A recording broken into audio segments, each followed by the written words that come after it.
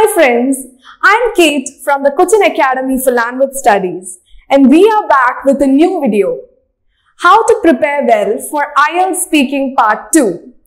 So in the last video, we discussed tips for IELTS speaking part 1.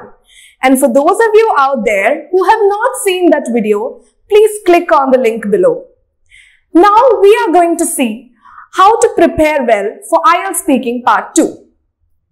So, the second part of IELTS speaking is referred to as the long turn because it may seem like a monologue without any questions or prompts from the examiner. Students get stressed and find this area very hard and unpredictable. We normally don't speak continuously for two minutes unless we are giving a speech. So in this part, the focus is only on you because unlike the other two sections where there are questions thrown at you and where you have a conversation with the examiner, here it's only you speaking. Now let's have a look at how this segment is held. The examiner will give you a cue card which may relate to any personal experience of yours or any event you have participated in or a person you know, for example. And then you have one question on the cue card with three to four cues. Then the examiner will give you a paper and a pencil. And you have one minute time for preparation. And this is the part where you can jot down notes on your paper if you want to. Then you will have two minutes to give a talk and the examiner might nod or gesture you to stop or to speak continuously. And these topics, the topics that are included in the cue card may be related to events, hobbies, activities, goals, ambitions, or maybe changes in your life. So now let's have a look at the different ways to prepare for a cue card. So let's have a look at a question first. Describe an aquatic animal. What it looks like, when you saw it, where you saw it, and explain why it was interesting. So in the first technique that we are going to follow, let's divide the piece of paper into four grids by drawing two lines. And then we'll take each question word from each cue and write it what, when, where and explain. And then we can write down around at least two points under each grid. Like here, for example, under what? I have written puffer fish, bloated and spiny. And under when I have written weekend trip, friend, evening. And under where I have written beach, Trivandrum, seashore, sands. And an explain, first time, saw, all puzzled, venomous. So as you have noticed, I've only written key words here. I have not written complete sentences because you just have one minute in hand and there won't be time to write complete sentences. So when you start speaking for two minutes, you can just have a glance at all the points here and you can speak in an organized manner. This will give a proper structure to your speaking. And it's not necessary you only have to restrict yourselves to the points that are given here. If, you, if some point suddenly pops up in your mind, you definitely can add that to your talk. Moving on to the next technique, we use our five senses which are going to help us perform in our cue card. So we write down the five senses over here like sight, smell, taste, feel and hear and then we write down words related to it like in the question that we discussed before the words related to sight are pufferfish, bloated, spiny and big eyes. Basically it is what you saw when you went there. And then there's smell, salty and beach. And when it comes to taste, a word that is close to it is maybe venomous. And then we have feel, which is curious, inquisitive, saw, and first time. And here, everyone excited and poking it. So these are just the key words I've written here. And we can expand on this. But again, this technique might not work for all sorts of questions. So you can use it for certain questions if you feel it might suit. In this technique, we use a lot of descriptors and basically we are doing a lot of describing. You can use a lot of adjectives over here and that is what makes your IELTS speaking very interesting and the person on the other side feels like listening to you. So please keep describing guys and make your talk as interesting as possible. In the next technique, we write down notes randomly one below the other. But the problem that can pop up here is the lack of organization of ideas because you are just brainstorming a lot of random ideas that come to your mind and you just jot it down here. So you might have to keep a sense of organization in mind when you present your talk. So I would personally not recommend this only because of the lack of organization that comes up here.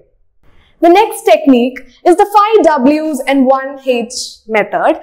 So here you write down all the random question words here like who, what, where, when and why and how. And then you try to answer according to the question. So this is actually similar to the first technique that we discussed where we take the exact question words from the cues that are given. But other than that, you can also try writing the other question words if you want to elongate your talk. So coming to the last technique. So here we just brainstorm a lot of random ideas that come to our mind and we don't write anything on the paper, we just speak in a flow. But some students face a problem here because they become blank after a certain point of time and they run out of points. So it's ideal to keep the cue card in front of you because you can peep at the cue card just to make sure you have not lost track. And again, coming to the second problem students face here is that they deviate from the topic entirely and they keep on talking and eventually they go off topic. So this must not happen in your case. So you will have to be alert here if you are using this technique. Now let's move to the tip for IELTS speaking part 2. So the first tip is start with a good introductory line. This would make a very good impression on the examiner because you may seem very confident when you start with a good introductory line. So prepare a good introductory line in your mind when you prepare for a minute. Uh, for example, you can start off like a couple of years back, I happened to travel to, and maybe you can add the name of a place. Or you can say, I would like to talk about. So these are few ways of starting off your speaking. Expand ideas. So expand your main ideas Rather than making a lot of different ideas, it would, be, it would be better if you can explain and elaborate the main ideas that are there. Appropriate vocabulary. Many students use words that don't suit the context and the vocabulary they use is wrong. So in such cases, your marks can be deducted. So please make sure to use the right vocabulary. A tip here is you can maybe make a set of words and you can learn them every day and also write it write an example sentence, like use, you can maybe try to find out how such a word is used in a sentence. So in such conditions, you can use the right vocabulary at right places. Synonyms. So learn a list of synonyms because they are definitely going to be useful for you in this part of speaking. Uh, so many students uh, have, you know, they memorize a lot of words and they don't use it naturally, so it may seem very artificial. So use it in such a way that it seems natural and not forced because IELTS tests your natural speaking ability. Learn a set of idioms and phrases because you would actually sound good if you use them. You can use uh, idioms and phrases like uh, hit the road, I was over the moon or cut to the chase maybe. So this would actually, you I mean, you would have an edge above others if you use such idioms and phrases. Now the last one, as I keep on repeating the same point, don't memorize. Please don't memorize your answers because you would sound very artificial if you mug up answers. So it's good if you can just try to learn sentence structures and better grammar. That would be an ideal option than memorizing. Focus on fluency and pronunciation. That is very important because we tend to mispronounce a lot of words and fluency again is another area where students struggle. So the more you speak, the more you can improve your fluency. And the next one is avoid fillers. Now what are fillers? Word like, words like um, ah, uh, so you would not sound good if you use fillers. So please avoid fillers. And the next one is use linkers. Using linkers such as additionally, in addition to, moreover, furthermore. So linkers actually give you know, they actually make you sound better. So you can use linkers. Now, use stalling phrases. Stalling phrases such as, another thing I can remember is, or this brings to my mind, or I would also like to talk about. So when you use such stalling phrases, you are getting more time to think and it would, it would also uh, sound good when you use them. So you can use stalling phrases. The next point you have to remember is using the right tenses. So we tend to use the wrong tenses at times. So the first thing you have to do when you get your cue card in hand is read the entire question and find out which tense you have to use. For example, have a look at this question. Describe your first day at school, where it was, what happened, and explain how you felt on that day. As you can see in this question, you have to explain about an event that happened in your past. That is your first day at school. So which tense can we use there?